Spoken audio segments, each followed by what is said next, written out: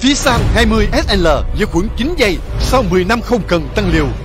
Dễ pha, mướt lá, đắt bông, sáng hạt. Fisan thuốc sát khuẩn cực mạnh, đặc trị trái bìa lá, túi thân phối hạt, sản phẩm Rockside đặc trị đạo ôn lá, đạo ôn cổ bông, chuyên phun các giai đoạn cực trọng để nhánh, làm đồng và giai đoạn trổ. Phun Fisan đã tiết kiệm, nay còn trúng sổ tiết kiệm lên tới 50 triệu đồng. Lúa vàng, chất lượng vàng.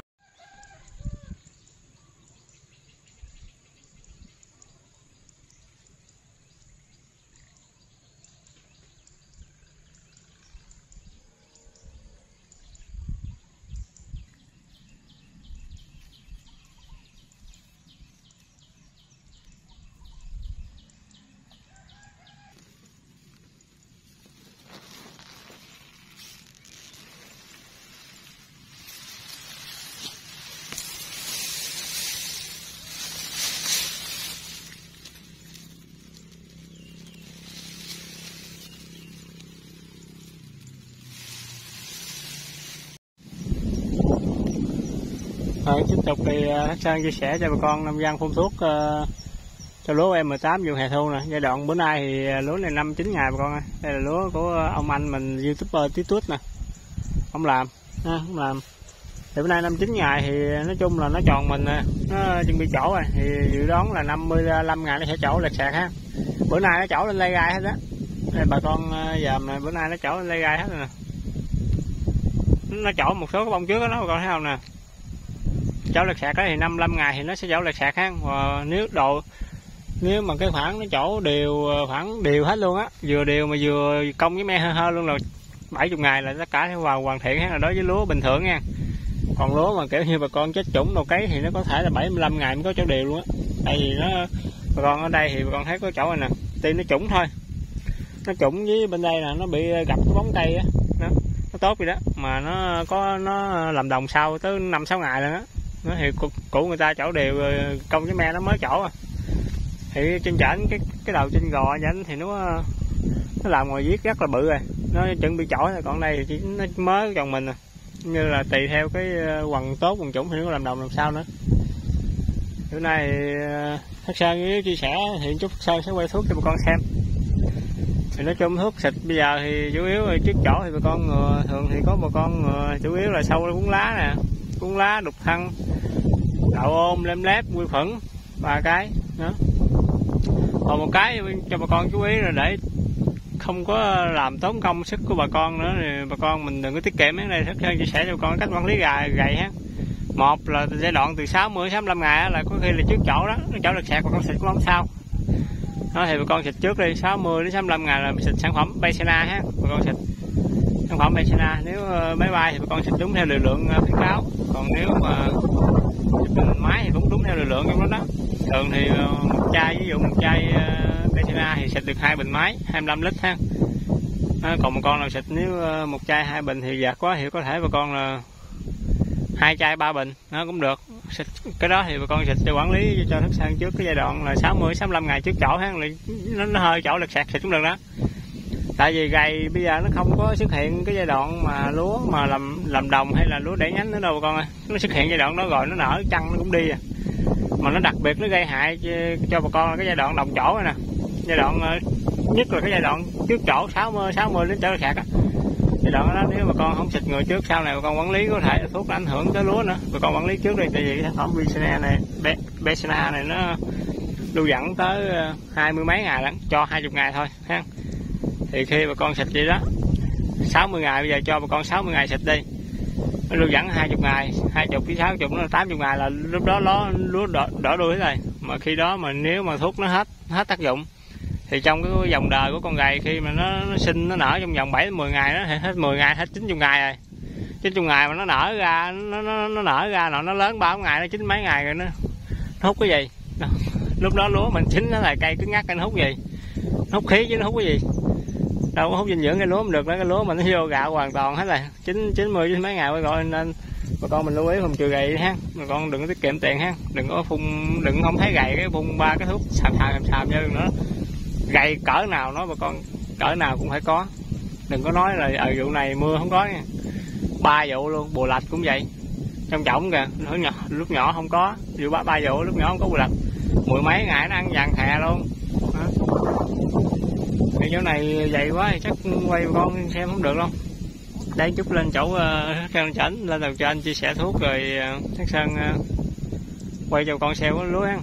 Thì đối với lúa ờ, uh, OM hay là lúa gì cũng vậy ha mà con làm nhiều khi cái thời tiết cái gió thời tiết gió nó bị vàng cái đọt.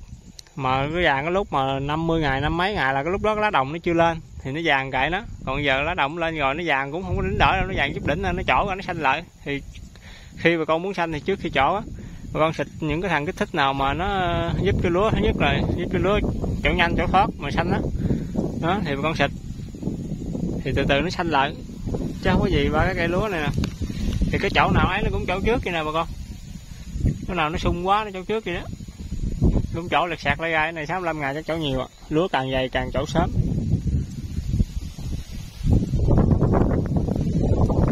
Thì đối với lúa này con có quản lý bệnh ờ, bệnh lem lép đậu ôm đầu vi khuẩn đồ thì ờ, ở bốn giai đoạn, thường thường là bốn giai đoạn chính. Một là giai đoạn 50 ngày là giai đoạn làm lòng như mình diệt tất cả các bệnh đừng cho nó lưu dẫn đừng đừng cho nó xâm nhập vào trong cái ờ, tế bào cây lúa. Hai là 60 ngày, ba là 70 ngày, bốn là 80 ngày. Đó. Theo thử luôn. Ví dụ mà con xịt bốn bốn năm ngày thì 55 ngày cái đó là theo cách thất sơn. Thất sơn làm 10 ngày, thất sơn xịt cử à. Mà thất sơn xịt thuốc ờ, cũng ba cái thuốc của hàng tao mà con nói chung làm quen rồi. Thằng nào hay thì xịt 10 ngày mới xịt cử. Nói chung bệnh thì, nói chung thì bà con xịt người đó. Nhưng mà có thì vẫn có ha chứ không phải là bà con xịt chứ không có đâu. Bà con xịt liền cử như nó 7 ngày bà con xịt cử như nó thuốc xịn luôn. Tốn tiền cũng vẫn dẫn bệnh à. Tại vì cái lúa cái đặc tính cái thời tiết này bà con không chịu nổi đâu. Nhưng mà xịt theo cử đi. Nó đúng 7 10 ờ, ngày 8 10 ngày bà con mình xịt cử. Đó, coi thuốc nào coi xuống lúa coi cái thời tiết, coi lúa làm sao rồi mình xịt. Thì để sơn vô ờ, dài dài vô chia sẻ cho bà con xem. Lúa này bữa hở bón phân nóng đồng tới một công hàng ba mới vô tới hai chục ký phân lận. Mà chủ yếu là kali là nhiều nên nó lùm lùm cứng cây. Đây, cái chỗ mà bà con thấy nó dày quá, nó lá nó vậy nè. Lá nó vậy chứ nữa, nó chỗ lên bông không à. con giờ mình chỗ nước sơn dạch cho con này vậy nó lên ngồi viết hết trơn ha đây. Cứng ha, cứng cây. Lúa này cứng cây và không có xịt cây li nè. Đây, bà con, một số bà con mình làm lúa, thấy bà con chỗ dày dày mà bà con làm vậy là im nè ha. Sao mà cho nó cái cây, nè, bà con dòm cái cây nè. Cái cây nó bự, nhưng mà cái lá nó đại nó nhỏ vậy nè. Lá này không biết nữa, nó vô gạo kẹp không nữa đây. Thường thường lá nhỏ nhỏ nhỏ, lùm lùm, nó vô gạo rất là kẹp ha. Nó vàng vàng mà nó vô gạo rất là tốt. Hơn là lá xanh, lá bự. Đó lá nhỏ lá đại nhỏ mà cái bông nó bự là chừng nữa mà con ờ, làm là con làm được đều đáp vậy thì năng suất nó cũng rất là im ha im hơn là lá nhiều mà nó hạn chế độ ngã hơn nữa. Còn làm mà lá bự bông bự nữa thì nó rất dễ đổ ngã mà vô gạo cũng không đều nữa. Dễ bị thứ nhất là uh, đốm vàng độ độ vi khuẩn tùm lum nhá. Lá dừa thôi vụ hè thu là con làm lá dừa thôi. Với cái vụ ờ, thu đông á thì sau khi cái quá trình mà thất sơn xem lại là đi ba cửa phân hồi lúc trước tại vì thân nó rẻ quá rồi mình phụ thuộc vào thân thấy thao băng tốt tốt rồi thấy nó rẻ không có nhiêu tiền. Mà con mình nung nung vô. Thì sau khi phân mắt ra rồi làm rút rút kết kinh nghiệm ra, thấy mình bà con mình trong cái khó có cái khôn. Thấy lúc trước giờ bà con mình ngu thiệt phí phí tiền này nói chung là đi ba cửa phân là dữ lắm rồi. Ba cửa phân là ăn rồi thì ờ, tới vụ ờ, đông xuân thì vụ hè thu này bỏ nước lên, thì tới vụ ờ, hè thu thu đông, vụ thu đông là vụ vụ ba, thất sang còn làm vụ ba thì đắt thất sang ba vụ. Rồi tiếp tục là tới vụ đông xuân tới, thất sang sẽ chia sẻ cho bà con cách đi ba cửa phân đặt năng sức cho bà con luôn. Đó, nói chung là cũng dễ thôi, không có gì. Ba cửa phân ừ, còn về bón phân nón đồng thì tùy theo lúa đó, đón, tùy theo thứ nhất, tùy theo bà con đi phân nếu mà đúng cái thời điểm nó ba, ví dụ nó có đồng ba bảy, bốn mươi ngày mà lúa vàng quá thì bắt buộc bà con phải bón nha. Còn ví dụ bà con đi mà nó còn xanh quá thì để chảy tùy theo lúa. Đừng có quan trọng là cái giai đoạn đồng đó mà nó, bà con bón phân nhiều vô cái là nó bông bự rồi không có đâu nha, đừng suy nghĩ vậy ha cây cây bự, bông bự, cây nhỏ, bông nhỏ. Nếu mà ờ, con xanh quá thì bỏ bỏ chừng nào nó xuống vàng chanh nó bắt đầu có tống vô. Đó để vụ này thất sơn để khoảng 50 ngày cho nó thiệt vàng luôn. Thất sơn bón vô đừng cho lấy cái lá đài không à. Cho nó tuột lá chân, tự tuột hết một số bà con thì à, đi xịt. Số bà con đi xịt à, ba cái thằng thuốc gia ly xin ba cái thằng thuốc tuột lá rồi nói chung bà con xịt cũng được, còn có thất sơn không xịt, bà con tiết kiệm tiền tối đa cho cho bà con luôn. Đó, là để nó tự tuột, tại vì cái cây giống bà con đừng nghĩ. Cái cây nó cũng giống như cái cây mình như là bình thường như nè tự ra lá, tự thai lúa cũng vậy tự nó tự nó tự hai à. Đừng quan trọng đừng kích vô. Kích vô cái lúa nó mau lão lắm sau này nó mau cháy lá lắm. Giống như là cái cây ờ, bà con cây xài cái gì kia gì đó bà con xịt cho rụng lá cho nó ra bông đó. Nó mau lão mau xài thì lúa này cũng vậy. Bà con xịt nó tuột cái nó, nó tuột cái chừng nữa nó trổ lên nó mau vô gạo nó mau ấy mà nó cũng mau mau cháy lá. Như lão cây á. Để tự nhiên đi.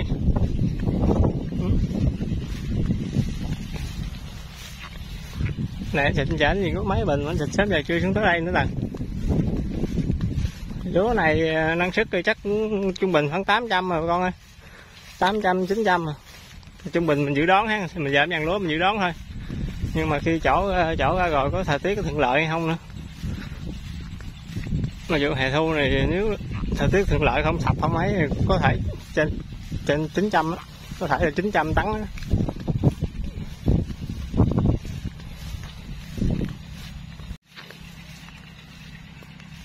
Thì đây, nãy ảnh ờ, anh xịt không có thằng lem lép bà con ơi. Thấy anh xịt ờ, sâu với ờ, độ ôn vi khuẩn với kích thích. Thì cái giai đoạn này bà con có thể xịt kích thích ha. Thích diện để cho nó mà nó, thứ nhất cái kích thích nó lấy lại chất diệp lục, lấy lại sức cho lúa. Khi mà nó trổ lên rồi là nó có sức nó vô gạo luôn. Đó. Anh đang qua rồi để vô quay cho con xem mình chia sẻ thuốc á đây xịt có ba loại à. Cái giai đoạn này cũng quan trọng ha giai đoạn trước chỗ con xịt ờ, mấy thằng lem rép vô ờ, cho nó nha đừng có bỏ ha. Giai đoạn nhỏ mà con bỏ chứ giai đoạn này bỏ lem rép nguy hiểm lắm. Trước chỗ theo số sơn nói đó. Bốn cử ít nhất là bốn cử lem lép. Bốn cử là vừa rồi năm mươi sáu mươi. Thường thường là năm chục năm chục sáu chục bảy chục tám chục trong thời gian đó, đó phóng tử đó cử nào cũng có lem lép lem lép vô là sao mày khỏi lép luôn. Nhưng mà thì mình thì mình xịt người vậy thôi hắn chứ thật sự thì nó lép nó cũng lép thôi.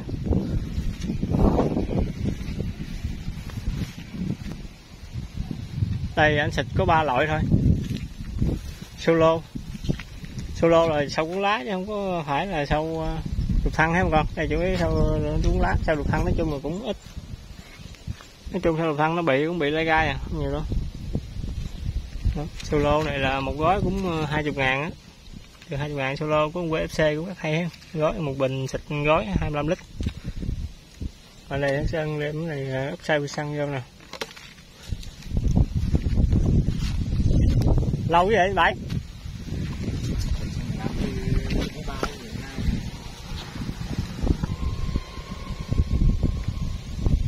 Tiếp tục là màn pha thuốc.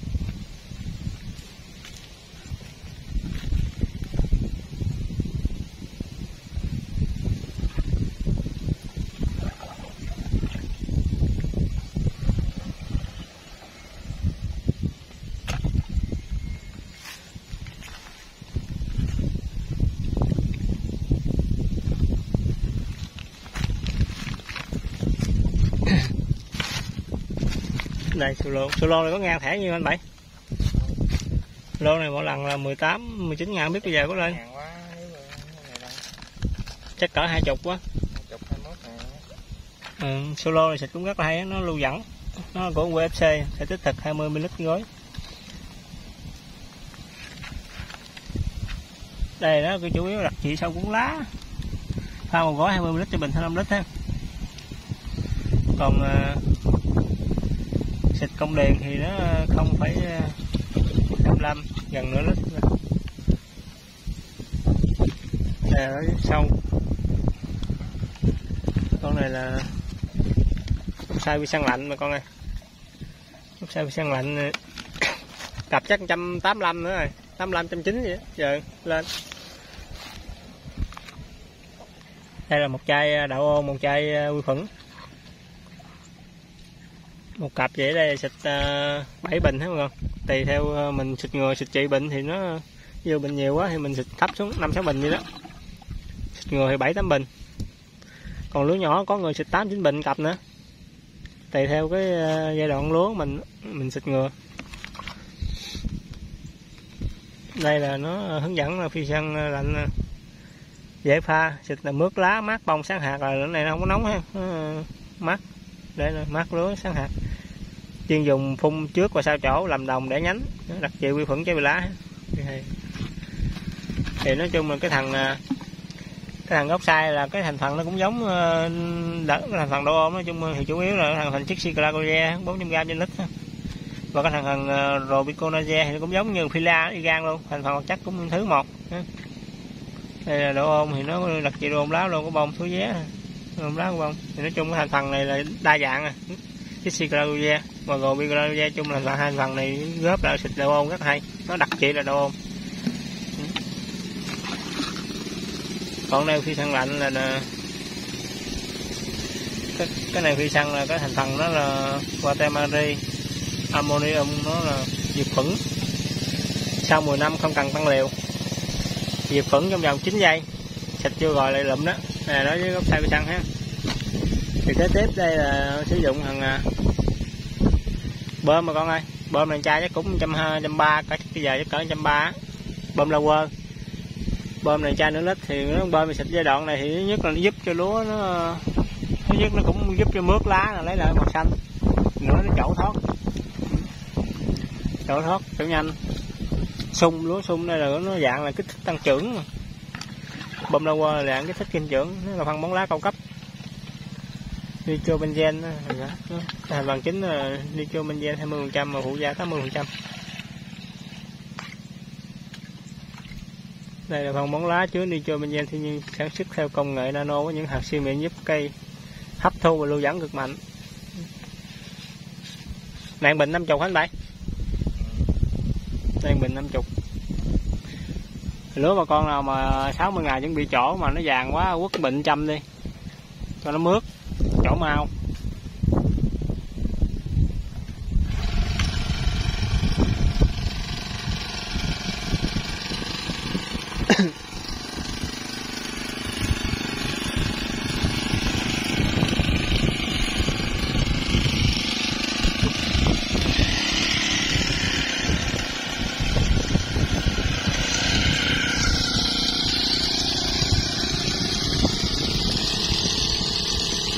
ít này, cái hơi còn hơn máy bay nữa. Máy bay thấy cái hơi nó rồi này ba cái ờ, bát phun nghiện á. Hơi đã. Đi ờ, thẳng xuống thẳng xuống.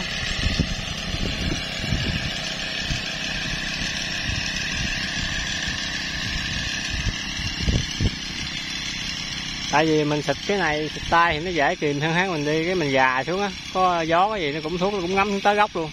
Còn máy bay trên nhiều khi gió nhiều quá, nó bị giạt giạt cái dồn phé bởi vì lúa nhiều khi mà bà con mình xịt máy bay mà lúa nó nó chỗ rồi đó. Thứ nhất là cái giai đoạn mà vô công với me bà con xịt thuốc nóng chút xíu mà máy bay nó bay mà lỡ có gió nó giạt nó giạt dồn cái là cháy chờm chờm chờm cháy lá rất là dễ cháy lá. Nhất là những thằng thuốc nóng. Thì đây anh xịt chỉ có ba loại hả bà con. À, bơm lower kích thích. Bơm hưa là dạng kích thích cho nó chỗ rồi nó lấy lại cái màu xanh cho lá lấy, lấy lại sức cho lúa. Thứ hai là gốc sai vi xăng là đậu ôm vi khuẩn và sau cuốn lá ha. Thì đây bà con mình, nếu ai không có xịt quy ai chưa có xịt lem lép thì nên kèm lên lem lép ha. Cái giai đoạn này cũng rất là quan trọng ha, giai đoạn trước chỗ rồi nè. Đừng nói là chỗ ra mới xịt lem lép là thua nha. Thì sang ờ, chia sẻ sàm sàm cho bà con xem ha. Chút bà con vụ đông xuân này tắn ngàn ba mới dương tắn được rồi. Giá sáu ngàn được rồi, đủ ăn rồi bà con ơi. Rồi, chào bà con.